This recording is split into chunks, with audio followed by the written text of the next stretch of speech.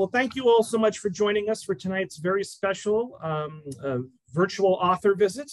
We have uh, two fantastic authors with us tonight. Uh, first up is Sy Montgomery, who's a naturalist, uh, a documentary scriptwriter, and author of 33 acclaimed books of nonfiction for both adults and children, including The Hummingbird's Gift, the National Book Award finalist, The Soul of an Octopus, and the memoir, The Good, Good Pig, which was a New York Times bestseller. Uh, the recipient of numerous honors, including a Lifetime Achievement Award from the Humane Society and the New England Booksellers Association. Sy lives in New Hampshire with her husband, writer Howard Mansfield, and a border collie. And, and, she also currently, at least temporarily, has four turtles, from, what I understand. Uh, Sy's latest book, published uh, on May 3rd, is The Hawk's Way Encounters with Fierce Beauty. Uh, and next up is award-winning novelist uh, Erica Feren uh, Ferencik, uh, uh, who's received glowing critical praise for her literary thrillers, uh, featuring women who face extreme physical challenges in nature, even as they grapple with their own internal struggles. devoted to authenticity in her craft, Erica spent weeks in the wilderness of northern Maine as research for her debut novel, The River at Night, which was an indie next pick that the New York Times uh, bestselling author Ruth Ware called Raw, Relentless, and Heart-Poundingly Real. Uh, for her hair-raisingly vivid follow-up, Into the Jungle, Erica journeyed 100 miles up the Amazon to experience firsthand the lush and perilous Peruvian jungle. And oh, and of course, I've lost I've lost the rest of your bio, Erica. How terrible is that? Uh, but Erica's, uh, geez, you know what? Let me pull it up. I actually have it on my screen. Uh, so Erica's uh, latest book is Girl in Ice. Uh, so all uh, 75 of us or so who are watching here live on Zoom, let's give a big virtual round of applause to Erica and Sy for joining us here tonight. And uh, ladies, you can take it away. Thanks so much. Thanks so much. Thanks so much, Robert, for having yeah, us. What a blast. This is so much fun for me because um, not only am I a big fan of Erica's work, um, we've met each other before. We are friends. I've had the privilege of blurving her books, and we've been to some of the same exact places. In I know, it's so strange. I, I just can't believe we stayed at the same at different times. We stayed at the exact same lodge in the Peruvian Amazon.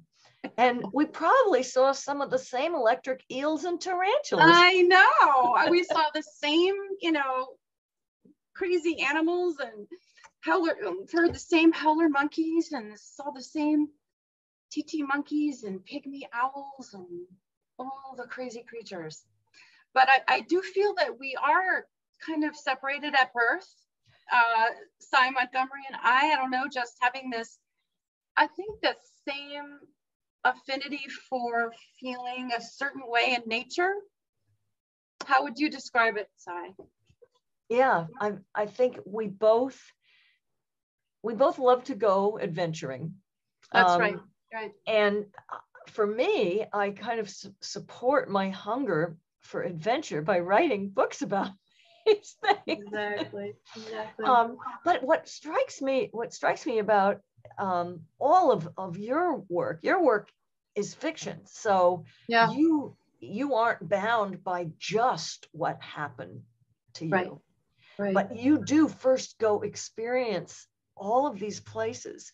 And in Girl in Ice, where you went to the mm-hmm. Arctic, is somewhere mm-hmm. that I have not yet been. And I want to know so much more about it. Although I've got to say, um, this really thrilling, scary book. Um, I, I, don't think that the, uh, the, the, the Greenland Tourist Bureau is going to necessarily um, they might have a fatwa out on you. Um, I know. so I, I want, can you tell us what it was like when you went there to research this book? And then we'll talk about the, the whole wild ideas behind it all. Sure. I mean, I was actually, I did a talk last night and someone said, so, so uh, you read about it, you watched videos about it, you interviewed people about it, like, why did you have to go? And I said, well, it's kind of like, you know, New York City. I can read about it. I can look at pictures of pictures of New York City, but unless you're standing, you know, in Manhattan, like surrounded by the New York Cityness of it all, how can you how can you get it? The sounds, the smells, the sensation, how you feel so small uh, or how you feel so enclosed by these buildings and that you could might say you know the same was true when i went to oh, you know including the amazon of course you know unless you go there it's ugh, hard to describe but greenland um, just a sense of scale i mean these uh, I flew, I flew to Reykjavik and then I flew from Reykjavik, Iceland to Kulusuk, which is on the east coast of Greenland. And then I took small, and I took helicopters and small planes to get to this extremely remote um, place where we camped. And then we went to the ice sheet. We spent some time there, um, where there is nothing, by the way. I mean, it's so fascinating to be someplace where there is no, there's nothing and no one. It's just this vastness. I mean, Greenland is, you know, just some quick facts about Greenland. It's a third the size of Canada, and only 56,000 people live there. I mean, I know community colleges that have 56,000 people, right? And 20,000 or so live in Nuuk, the, the capital, but the rest are in tiny little villages along the coastline of this massive place. And it's the ice cap is 1500 miles north to south 700 miles east to west two miles thick. Uh, it's thickest and been frozen for 3 million years. And if this were to thaw god forbid the oceans would rise 23 feet but weirdly this this this island would rise because it's just a bowl, you know, it's this giant ice bowl surrounded by these mountains jutting up. But um, that just sort of gives you the, the physical, but then there's the human and the human is, you know, it's one thing to, again, read about a subsistence and hunting culture, as you know, and another to witness it, you know, how people have to live, what they have to do to survive. In fact, there's a word uh, in, in Greenland, in Greenlandic for, it's called the great necessity. It's translated as the great necessity. And it just means what you have to do to survive. And what you have to do to survive in a place where the only tools you have are stone, ice, and bone, basically, is you have to know your environment so well you know where the animals are, you know the conditions of the ice, everything, so that you can survive. Um, and so, anyway. Oh man, that's just a little glimpse. but it sounds like you know the antimatter universe of yeah. the Amazon, yeah. where you know life is piled thick upon it's life. The opposite, you know, yes. animals are you animals are crawling on you. yes, and you have to stay, and you must stay calm, right? And say, right. well, it's just a small scorpion that's not poisonous. I don't think so. It's cool. Oh yeah, I mean, yeah. even yeah, I, I remember you know tarantulas falling out of trees into the boat, and it's like, where's the tarantula? Is the tarantula's in the boat. And I remember my companion saying, the tarantula can't be in the boat. And that's when we saw the legs crawling up. The, they were in the boat. But oh um, a little while ago, you were, you were talking about um, language, the great necessity. And yeah. um, I, I feel we should tell viewers mm-hmm. what Girl in Ice is about, oh, because it's sure. also about language. And your main character, Val, is a linguist. And yeah. you had to do a ton of research, I imagine, yeah. not just what does it feel like to be in the Arctic, and not just what the people um, do to survive in the Arctic, but you became a scholar of languages. So tell us a little about the the premise of Girl. Ice. All right, so so Girl in Ice, um, as you said, is so Girl in Ice is about uh, Val, and Val is an American linguist who is tasked to go to an extremely remote climate research center off the coast of Greenland, where a girl has been found in a glacier and she thaws out alive, speaking a language no one understands.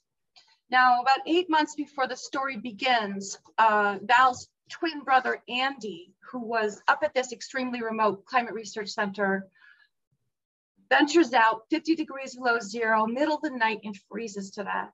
Now, Val doesn't know if, of course, she's shattered, but she doesn't know if he took his own life or if there was foul play up there. So the story begins when Val gets an email from Wyatt, who was one of the only other people up there, uh, another climate researcher saying, we found this girl. We sought her out. She's alive. We don't know how. We don't know why, but she's talking. We don't know what she's saying. We need you to come figure out what she's saying. Um, and immediately Val reads this email and she's like, no way, because Val has her own issues. She has a pretty severe anxiety disorder. She's only comfortable in a few places. Uh, but in the email is a little clip of the girl speaking. She plays that. She doesn't understand a, word, a word that this girl says, but she hears fear and terror and, you know, somebody help me. Um, so the first, for the first time in Val's life, she has to step out and decides to go up to this very remote place uh, and figure out what this girl is saying, but also figure out what happened to her brother. So yeah. So yeah, it's a thriller, suspense, um, mystery, and I guess the way, how did I think of this crazy story? Well, I was, let's go back to the Painted Turtles, which Sy is about to release, and she's going to show them to us. She's going to release them tomorrow. This is very exciting. But anyway, bizarrely, because we are joined at the hip Sy and I. Um, I uh, the, the spark for this story came as 2017. I was walking behind my house, freezing winter day. There was a frozen pond back there, and I saw three juvenile uh, painted turtles, and they were frozen mid-stroke. You know, eyes open. I was like, they don't look alive, but they don't look dead. So, you know, I ran home and I Googled, you know, what can freeze? and thaw out just fine. And it turns out there's a lot, a number of creatures that can do this. Certain crocodiles can do this. Um, certain wood frogs can do this. These painted turtles and other creatures can do this. They possess a certain cryoprotein that we do not. This cryoprotein, so when you freeze something, it becomes jagged, right? So it, sorry, it must be one of your creatures. Yeah, yeah, Thurber honey. Let's not say that. Come here. Sorry. That's all right. Your cat probably doesn't do this. no, he does, but I, I locked him up. He's like ridiculous. But the ice will destroy a cell. So we do not obviously have these cryoproteins. Uh, but anyway, in, I, the inspiration came on that day. I thought of a girl in a glacier uh, and I could see her foot and she was running. And my job was to figure out who is she, what happened to her, what is what is her story. So I just went from there, pretty much. you you had to make up a language essentially. You had I to did. invent a language that doesn't exist. Yeah. I'm in awe of that. How do you in- create a language? Well, so I you know, I have to do a, just a tiny spoiler here. So the girl is, it turns out she is ancient. Um, and that's why when Val was listening to her, she didn't understand what she was saying, nor could she find any root languages um, that she could find uh, that, that, that corresponded to this girl's language. To create the language, oh, you know, I had a lot of fun. I, I listened to all these Nordic languages, East Greenlandic, West Greenlandic, Norwegian, Finnish, Swedish. I was trying to find like, you know, units of sound and meaning that I could cobble together to create a language that felt really real. You know, it just needed to sound real. I write fiction, you know, I only, and I only needed to sort of, I don't need to hit people over the head with it, but just give enough so like it feels real. You know, that's um one of the ways I love to write. I love to write along the edge of what seems real and what isn't. Mhm. I mean, along the edge of of that. For example, I mean, I think that many people have read the book and said, well, maybe you can thaw people out. And they're not so sure after they read the book that no, we can't quite do that. Not yet. Um, not, not yet. yet. I mean, we could freeze a, um, an embryo, it's 120 cells. We have that technology. So, you know, extrapolate that a few years and we'll all be a bunch of ice cubes running around. Can you can you give us some some words? Can you speak some of the words that Oh you made up? I I think can't we'd just love to hear like any any word that Oh you Oh my God. I cannot remember. Isn't that terrible? I cannot remember one word. Um, it has been a while since I read my own work. I can't. Well, that's all right. I think all Yeah. of us would love to go back in time and Oh, here's what our ancestors what they said, you know, and this is part of the allure, I think, of your book. The, the characters are fabulous and the setting is fabulous, and it's got this very like creepy, page turning feel to it. But also, it has this yearning that I think we all feel. We Mhm. would love to speak to our ancestors. Right, know? exactly. And I found some words. Um, Oh, great. Standala is one. Yeah, I'm sorry, I Uh, couldn't remember how, oh. I didn't know how they were pronounced, but Oh, Standala, uh, Kanisiak, Vansit. Um, it's, and it's, I wanted to, again, a bit of a spoiler here, but one of the, so one of Val's problems is since there's no base language, she doesn't even know where to begin. There's no artifacts, you know, there's no, you know, uh, you know, written language on stones or whatever lying around for her to to research. So she almost has to act as if she's communicating with a baby. They learn uh, in units of uh, meaning, uh, and then you know for for uh, numbers, for example, one marble versus a bunch of marbles. But in the end, what she's trying to do is communicate with this very traumatized girl. And the girl, imagine waking up and you don't recognize your clothes, you don't know the people who are around you. Uh, and so this girl did not want to communicate. And it, it's only as the story progresses and the, the girl, whose name is Sigrid, figures out that unless she communicates, she can't get what she needs to survive. She won't, so it takes two to tango. It takes two to communicate. You know what I mean? So once Sigrid figures out she needs to communicate, she starts to communicate in her way. And then she starts doing drawings which communicate what she what she needs and and um, Val has to try to understand um, what it is. yeah, I, I've just found the deeper you got into this novel, Mm. the the the more hungry you were to resolve all of the tangled things.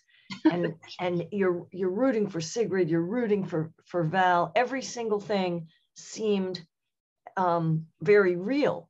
And and that brings me to uh, climate change Yeah. and um, how you know as lovers of nature climate change i'm sure you you feel exactly the way that i do i mean we Yeah. can't believe that we're like wrecking the world to the extent that we've wrecked the climate possibly irrevocably i mean that we Right. have just a few years um, there's these winds in that you talk about in Yeah. the novel what Yeah. are they called again i mean well, I call them I call them ice winds, and there's again this is something that so they're, the real things are called katabatic winds. These are winds that are very severe winds that are caused by changes in barometric pressure and or severe temperature changes. They're very strong and very cold coming off glaciers. Now we don't live on glaciers. We don't feel we don't take note of them, but on glaciers they're called cataracts and they just shoot down these glaciers. And when I read about those, I thought, you know, why not have an element in the book where certain places around the world, uh, these ice winds were freezing people to death really quickly. Um, and I have had a lot of readers write to me and say, oh my God, these ice winds, are they real? I'm like, no, not yet, not yet. Um, but it's interesting you mentioned climate change and climate change anxiety. Uh, I don't know. I mean, my first novel, I think The River at Night, there were some references to climate change, but uh, and there were much more references to it in Into the Jungle. In this book, and, and you know, a big element in the book that has to do with the plot is is climate change. You know, and and I do not inject things into my stories just because they're topical. You know, they have to be part of the story because you know it's entertainment and the story needs to work as a whole. In fact, I write these uh, first draft before I even go on the research trips because again, the story comes, the human story comes first. But um, like 10, 15 years ago, I wasn't, I don't know, like I thought about climate change, but not as much as I do now. And I don't know about you, but like every other thought is climate change. Every other, every other thought. And I was going to ask you kind of how you deal with it emotionally. I mean, uh, how do you keep your sort of mental, emotional equilibrium, someone with your level of, I consider you the greatest living nature writer. I, I guess I'm in all awe. the good ones. I'm in awe. No, I do. I do. I do. And and to be that, to be that, you've got to be deeply, deeply sensitive, uh, and also mourning this, uh, as most of us, I think, are. Yeah. So how do you, and how do you also, and another question is, I know you love animals so much, but we have to deal with other human beings in order to that's survive, right? Part. The animals. That's the, that's the biatch, right? So how do you balance um, those two elements of your personality? And well, how I deal with climate change and and the catastrophe that's upon us is yeah. the same way that you do by writing. And oh, okay. you know, I'm not smart enough to write fiction. I write nonfiction, but um, if it's my it's my hope that people will will save what they love, yeah. and it's it's my hope that I'm just so in love with this world and its creatures. Yeah.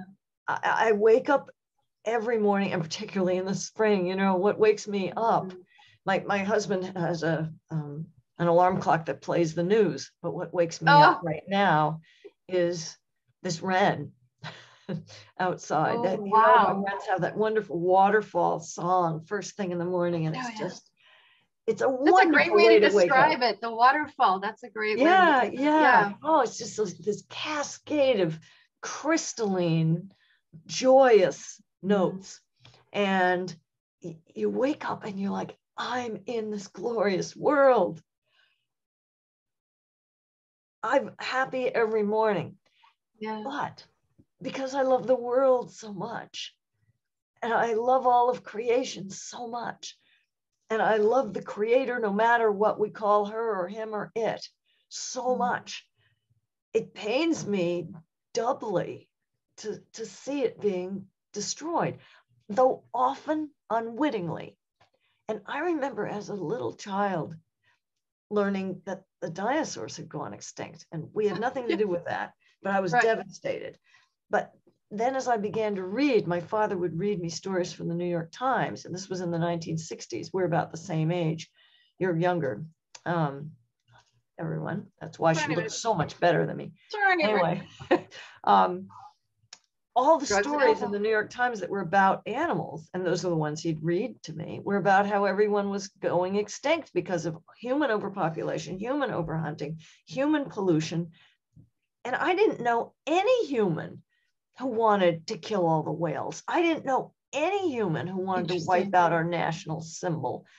And yet, unwittingly, we were. And it was then that I decided that instead of being a veterinarian, as I thought in, in mm. first grade I might be, I would be a writer and help bring to the attention of my fellow citizens how we can help. But I've found in writing, it matters first to make them care and to reconnect us with the rest of animate creation because that connection often gets severed. I think we're born with it. I think, you know, children, children's dreams are all about animals. Something comes in and wrecks it. Some, a lot of children buy the lie that is sold left and right that what matters is money and clothes and, you know, and fame and all the stuff that does that not only doesn't matter but makes you miserable. And every single wise man and wise woman who's ever lived has told us that but do we listen? No.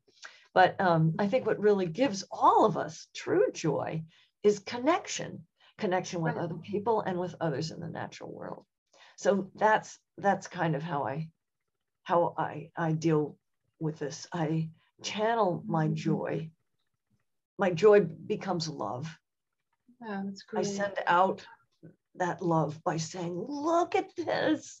This octopus I met. She's fabulous. She's just as interested in you as you are. Look at this hawk. You know, when you see a colors. oh my gosh. The octopus. Yeah. yeah. Can you it's, it's it's easy to help people remember how in love we are with the natural world. And if I mm-hmm. think if we awaken that, we can turn anything around. And I write for adults and children, and I, I write mm-hmm. for all kinds of media because I, I feel like, you know, all of us have a hand in saving the world. And what a great thing to do with your life. But children, man. Yeah, you got that with the children. Yeah. I, I admire that you can write for tomorrow. children. That's a skill all in its own. Yeah. And you're, you're, you're reaching them. But, you know, your books, fiction draws in people who might not read my stuff. I know? hope so. I hope that's a side effect of, you know, I'm creating, you know, this a different kind of entertainment. Although, you know, reading this book, um, you know, you use so many elements of fiction here. You know, there's pacing, there's there's there's you know uh, citing instant building climax uh, climax resolution um, and what you're doing is, I mean, I never thought about, can I just read this two, sentences about um, your interaction with raptors uh, and what you say about it. You say, um, and you talk about this certain kind of love, and I want to hear more about that, of, it's a different kind of love. Anyway, say, for a human to love, this is from her book, The Hawk's Way. For a human to love without expecting love in return is hugely liberating. To leave the self out of love is like escaping the grip of gravity. It is to grow wings. It opens up the sky.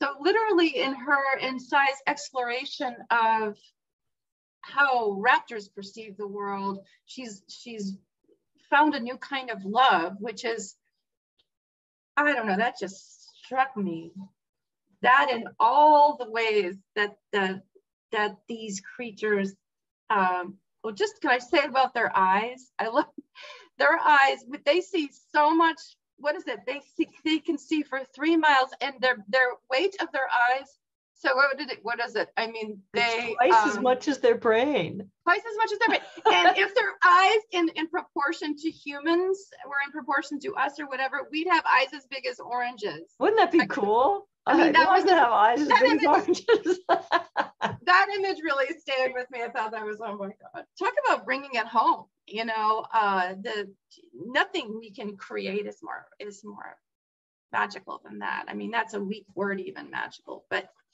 um, yeah. So I think. Well, what a compliment, God, you're so yeah. great. But you know, I mean, I love I love reading fiction. I mostly read nonfiction for work. But when I mm-hmm. read fiction, it kind of stretches my mind in another mm-hmm. direction. And I, I think two things that have affected my own writing, and you you teach writing, which I don't. I mean, yeah. I, I would be terrible at it. Um, plus, I don't even know how I do what I do. And I think it's kind of freakish that I've managed to write one book, much less like 33 books. But um, you not well, I was going to say novels and sermons are yeah. are two um, forms that have influenced my my writing. Mm-hmm. And for you, I was surprised to learn that you did a decade of stand-up comedy. I did. And I would love to know how this in you know how did this shape or inform or how how does this help you write these suspenseful, riveting um, novels? Well, you know, when I think about those years, I think, was I wasting my time? You know, um, but I can't say that it, I had a lot of fun. I had great nights. I had terrible nights. You know, in comedy, you're only as good as your last set. You know, you you and you know, it's a whole other talk to talk about comedy, but um, I learned how to write prolifically.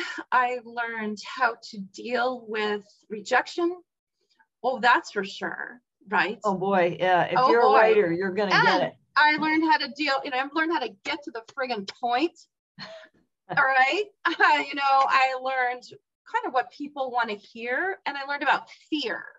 I learned a lot about fear because I don't care where we went, where you went, what giant snake we wrestled to the ground, what massive iceberg was about to break and you know kill me. Uh, nothing's more frightening than standing on stage and telling a joke, and you tell the punchline, and then you have to wait. Oh my because, god! Because early in my early days of doing stand up, I would tell jokes and I was so afraid of the reaction that no one would laugh that I would just keep going. But the audience, it's a conversation, you see. And I didn't realize that. And I was afraid of that because, you know, it's, it's terrifying, you know? So I learned a big thing about fear, and that is that um, I had to wait for the reaction, whatever the reaction might be. Uh, whether it's laughter, silence, whatever it is, I knew that I, because if you don't, the audience senses, feels disrespected. The audience is like a big bear. They just want to love you or kill you. You know what I mean? They're just this big dumb bear. And um, and how does that translate to writing suspense and thrillers? I'm not really sure. I guess one one one thing is, you know, you, you always have to be aware, as much as you have to get into your world, our world of, you know, what we're writing, we, we do have to remember it's a conversation. You know, it's not about, it's never about Sy Montgomery or Erica Ferencik. It's about that person absorbing with their unique brain, your unique brain, and what comes out of that. What does come out of that? You know, we can't control it. We can't control our reviews. We can't control our reactions we can only do the best that we can do. Um, so I don't know how that relates to comedy so much, but well, what strikes me when you write, um, when you're talking about how you know comedy taught you about fear, and yeah. fear. I mean, you can't just sustain fear for 250 pages there has to be a break or your poor right. reader is just gonna die. It's gonna be terrible. Absolutely, and, you and have to do that.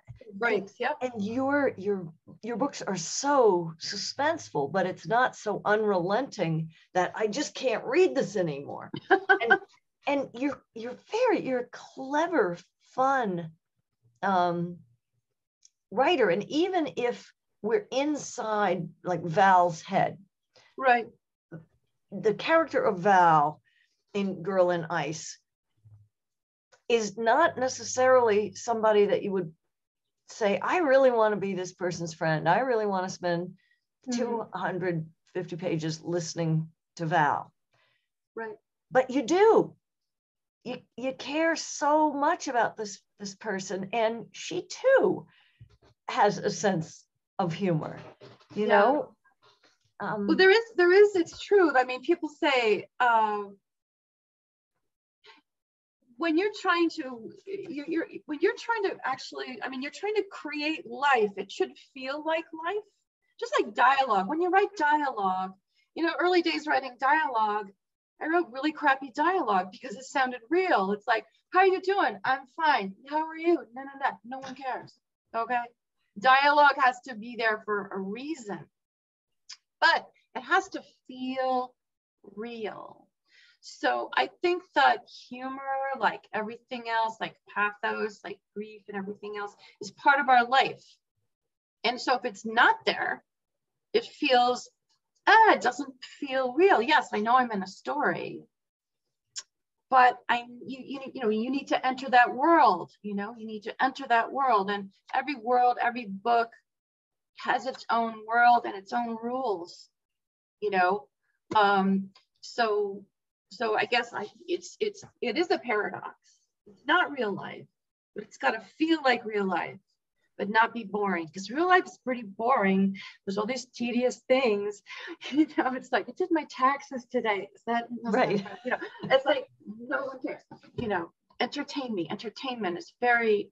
It's a very entertainment is this very light word but it's a very heavy word when you think about it. It's doing a very profound thing it's pulling you, it's pulling you into another world. And how do you do that? That's the skill of the writer.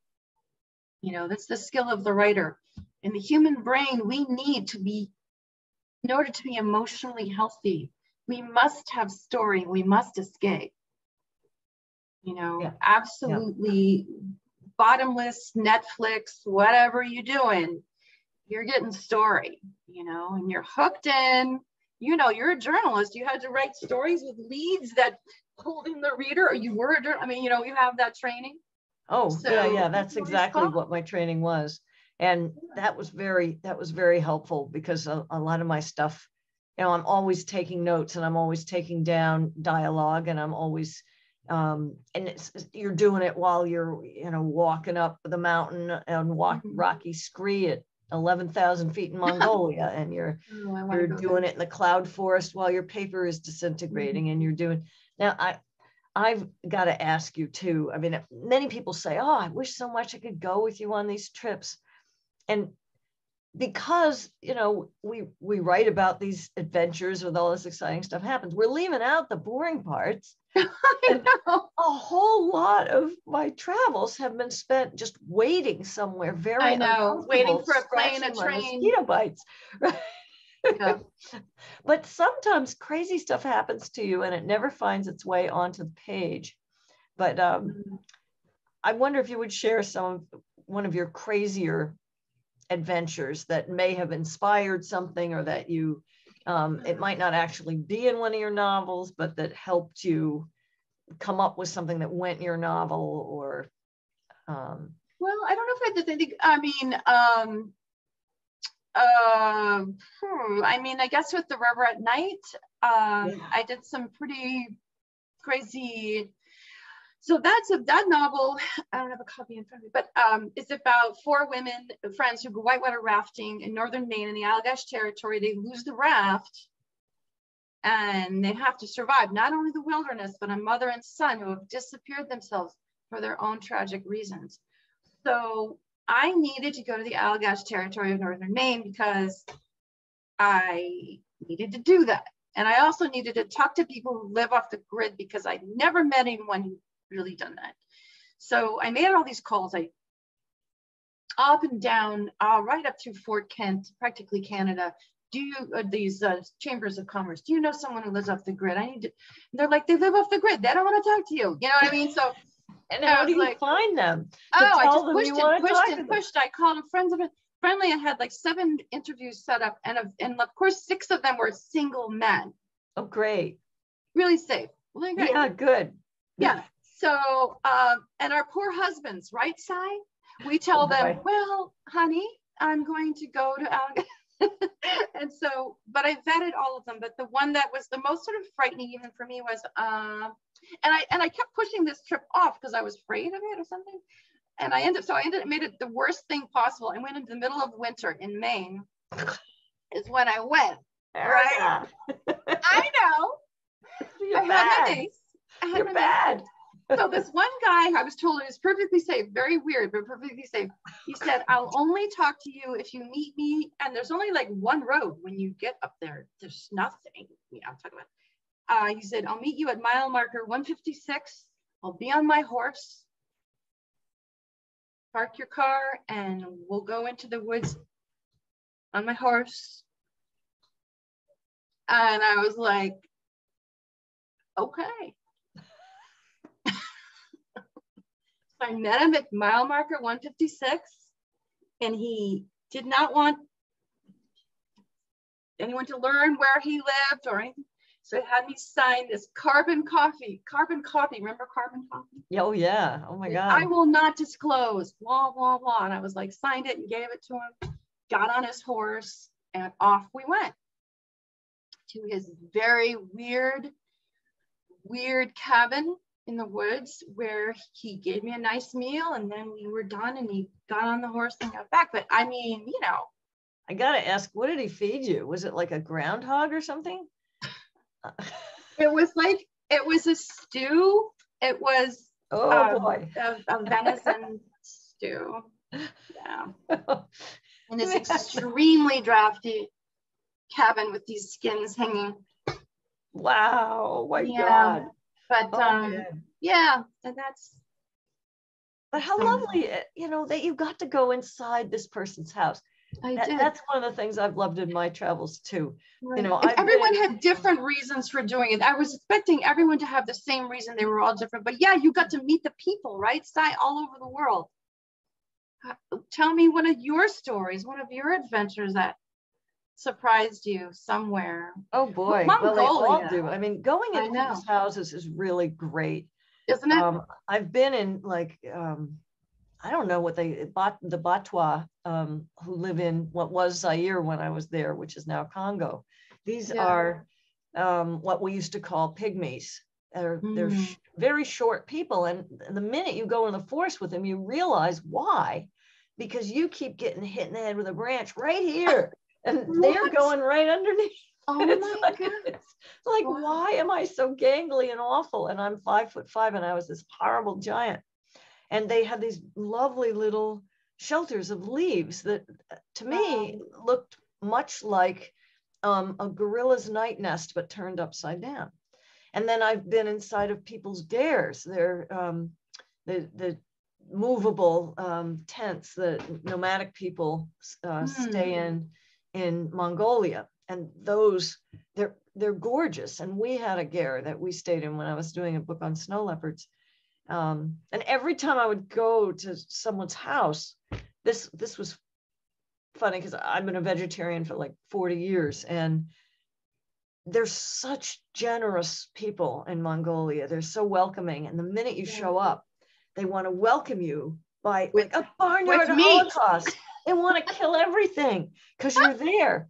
And I mean, no, I don't want to take their meat away from them. I certainly Yeah. don't want to eat it. So the translator had to explain to everyone Yeah. we met right away, like she has a terrible disease and she eats nothing but leaves.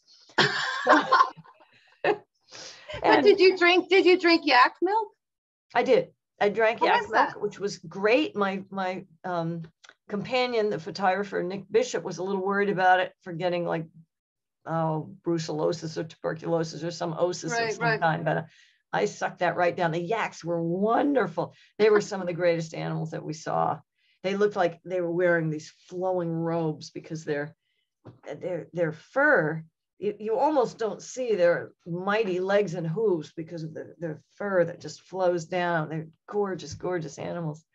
Um, and most of the livestock in Mongolia lives wild almost all of the year. And when they Wow. need something from that animal, they go out and, and get him. But most of the time they live, you know, the the life of of Riley. It's it's pretty great.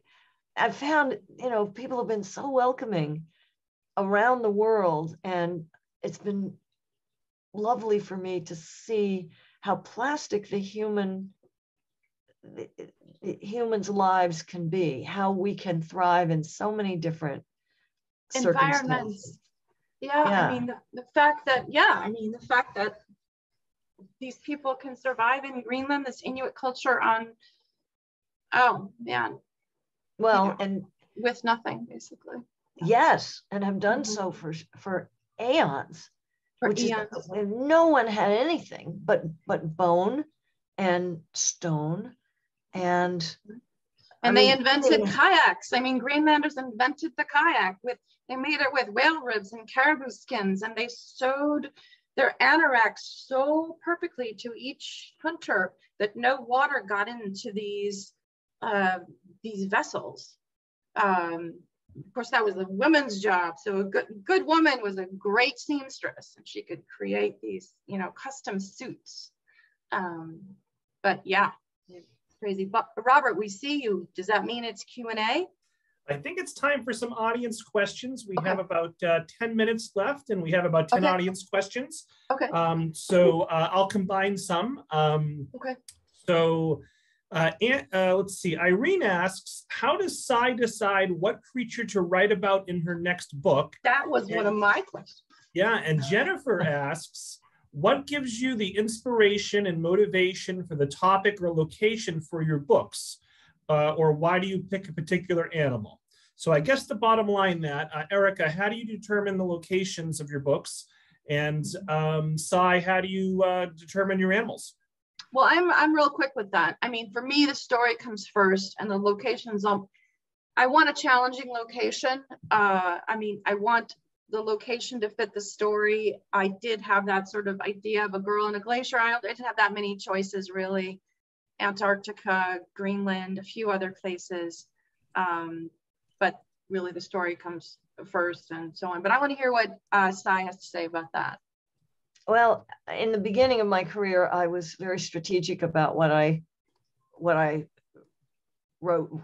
The, my first book was an homage to my um, my heroines, Jane Goodall, Dian Fossey, and Yeah. Biruté Galdikas. And I wrote a book Mhm. called Walking with the Great Apes that's still in print about how their relationships with their study animals are what gave them insight into the behavior of humankind's closest relatives that no one had had ever had before. And from there, I picked um, predators next because I saw Mhm. that our relationship with predators was a, a pr- troubled one. But then at that point, books started presenting themselves to me. When I was in Hmm. India and Bangladesh and the Bay of Bengal, I saw these river dolphins, some of which were pink, and found out that there were river dolphins in the Amazon. And that led me to the Mm. Amazon. And in the Amazon, I met a man who had seen this peculiar bear he couldn't identify in China. And that led me to search for the golden moon bear. And, you know, I was giving a presentation about my Amazon book and met a woman who was studying um, tree kangaroos in Papua New Guinea, and so on and so on and so on. So, um, in some cases, I'm thinking it out very carefully. Soul of an Octopus was one of those that I thought out very carefully. That I waited until I felt that I finally was smart enough uh, to tackle trying to get into the mind of a marine invertebrate yeah. and and tackle consciousness. So, and the book I'm working on now is a book like that that I've thought of very carefully, and um, it's about turtles and about time. Wow. Hmm. Turtles and time. Interesting. Uh, Patricia in the chat says, I'm so glad that you're friends and fans of each other. What a rich presentation. And Andrew asks, how did you two meet each other? How, how, how long have you known each other for? Well, I'm this, you know, blushing fan here, and I was, I, I don't know how I just stumbled over her books, and I started reading one after the other. And I live in Framingham, and I just saw, okay, she's speaking in Harvard Square. Go, idiot, you know. so, you know, I was so I was thrilled to learn that, you know, she's local to me, and um, really, it was just that. I mean, just I just Yeah, we hit it off uh, right away. I mean, I knew right Yeah. away when I met you, like, oh, this is my people, you know. Know. yeah. Um, little did we know how much we had in common, though. That I I'm know. still, uh, I mean, every time we talk or email, I'm like, no, get out. I know, I know, I know, I know. It's quite bizarre. Even our childhoods are quite similar, which is very strange. Yeah, I know. And I and think some of the, some of the way we write uh, is in reaction to that too. And, and, and, and going to this place as a place, nature as a place of comfort and sanctuary for, from a troubled background, if I may say. So Helen has a question, a different question for each of you. Um, Helen would like to know, Erica, how long did it take to research and write Girl in Ice? Um, so mm, probably research is constant. By the way, I the minute I get an idea, I start I start reading book after book after book after book. So it's all during the process. Um, I had the idea. I take about six months to write an outline. My outlines are very important to me. My outlines are long and detailed, 100 pages or so. Then I write a first draft, and then I write the final draft, and then I go on the trips. To answer your question, probably like two, two and a half years altogether. Uh, Great. Um, Yeah, thank you. And uh, Helen, uh, for, uh, Helen asks, Sy, uh, what can we do to make the environment safer and better for hawks and other birds of prey? ah, well, great question. one, uh, one is just is so easy, but it involves not doing stuff even. Um, birds of prey. The I recently released a healed um, broadwing hawk who had nearly died from eating a rodent who'd been Poison. um, poisoned with rodenticide. And people don't even realize, you know, I've got I've got some mice. I call them the exterminator. They don't realize that those mice are going to stagger outside and be an irresistible treat for uh, for a lot of different animals. But hawks, of course, are going to see it from a mile away, and it's going to be Yeah. an easy thing to catch. And so, one, don't don't do that. Um, an, another is, you know, just birds of prey are persecuted. Um, we need strong laws and to enforce them so that people do not shoot them, do not trap them, do not poison them. Um, and everything facing any problem in the wild is facing a, a problem that we're causing by our actions. So every time we we leave the plastic at home, um, every time we take a bicycle instead of a car, every time we buy a Prius instead of a Subaru, every time, you know, every time we choose life and to preserve life, we're we're helping birds of prey. If you support your local um, bird rehabilitator, that directly helps birds of prey. A lot of times they're hit by cars and they can they can be saved, but it's a long, difficult process. Uh, Karen says, thank you both for an uplifting and enjoyable talk. I love your enthusiasm and passion Thank for you. your work. Donna says, amazing, adventurous, and fascinating women. Thank you for this incredible evening. Uh, Carol notes, uh, this one's for Sy. Uh, the Boston Globe dubbed you part Indiana Jones and part Emily Dickinson. There you go. Uh, is that a fair assessment, Sy? it depends on which part you're taking. oh, actually, you know, I, I know who wrote that. It, it was someone who's now a dear friend and and also an adventure woman and a best-selling author. It's um, my my friend Vicki Constantine Croke. So um, she she has a great way with words, and I was very honored when she said that. Uh, we'll take uh, two more questions. Uh, this one came up a couple times. I'm going to ask it. This is again for Sy.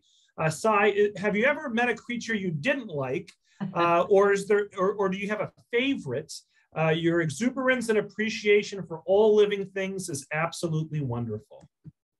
Oh, bless you. Well, I wasn't thrilled with the dozens of leeches that were sucking my blood after I got back from my first day thrashing around the Queensland rainforest. But um, I, I didn't put salt on them or anything. I just took a shower and then they went down the drain and I wish them well. So um, yeah, leeches I'm not crazy about. I'm not crazy about the mosquito that gave me dengue fever in oh Borneo. my God. um, yeah, dengue's dengue's uncomfortable can but, you serious? you know, you can die from it. And I figured, you know, my, my friend Dianne Taylor-Snow was with me at the time, and we didn't know it, but she had hepatitis. I had dengue. And we both were very ill, and we got out of Borneo and we got as far as Singapore, and we checked into this flop house.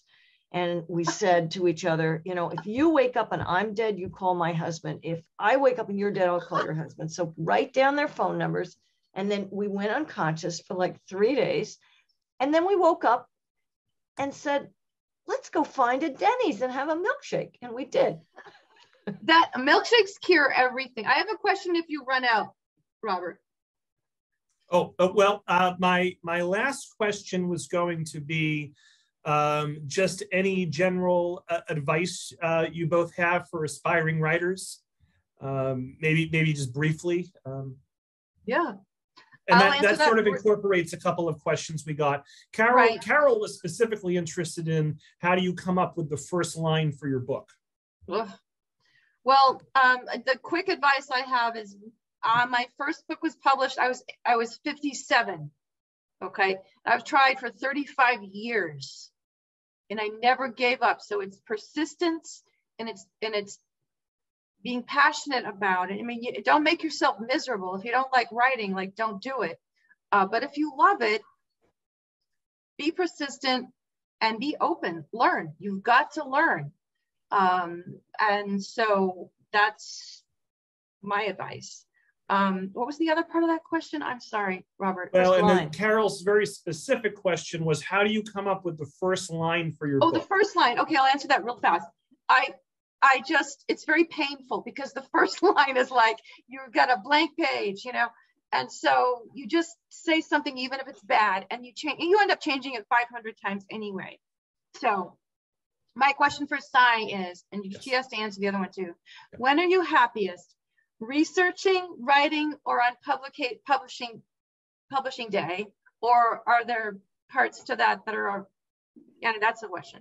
Oh, You have research. to ask, answer the question about writing first. Yeah. Well, oh gosh. Um, That's a lot, but anyway. you know what I would say uh, is is very important if you want to be a writer and you want to be a writer like full time is Mm. just don't develop expensive habits Yeah, because that's the most needing- important. Not needing a bunch of uh, crap, you know, not Yeah. needing a bunch of stuff gives you freedom and gives you time.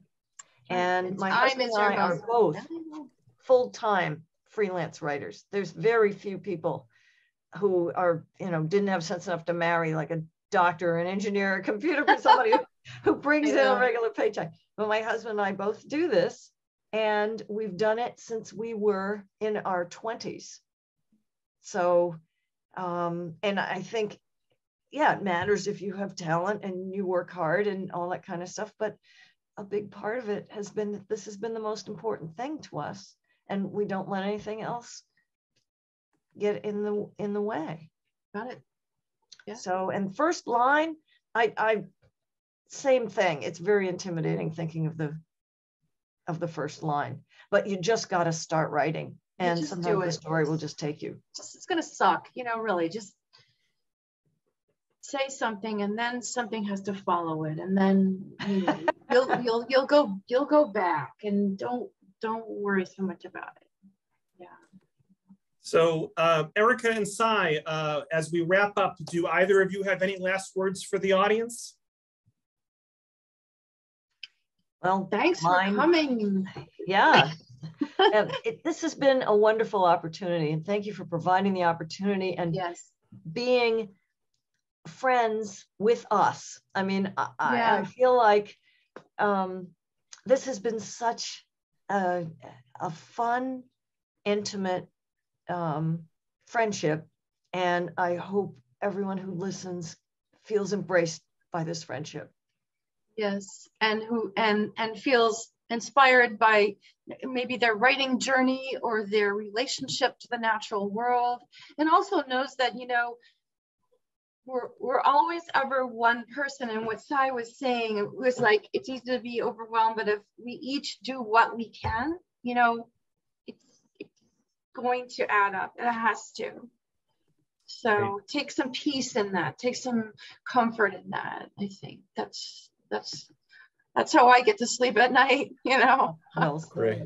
Yeah. Well, thank you so much, Erica. Thank you so much, Sy. Thank A wonderful presentation as expected. I want to thank the libraries in uh, North Andover, North Reading, Georgetown, Danvers, Andover, Billerica, Wilmington. uh, nice. um, for partnering with us uh, for tonight's program. Uh, and for those who are watching live, uh, please look for an email from me tomorrow uh, with links to purchase copies of the book, a link to a feedback survey, and a link to this recording. So thank you all so much, and I hope everyone enjoys the rest of their evening. Thank you, Erica. Thank Have you, Have a lovely evening. Have a good night. Bye. Bye-bye.